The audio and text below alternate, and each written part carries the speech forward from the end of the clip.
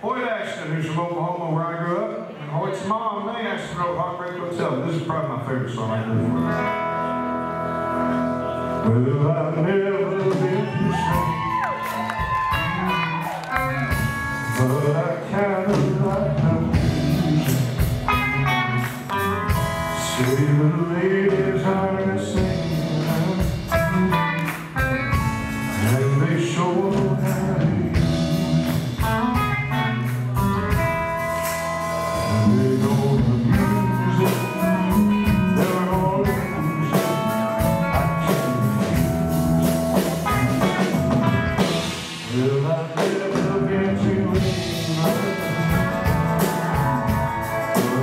but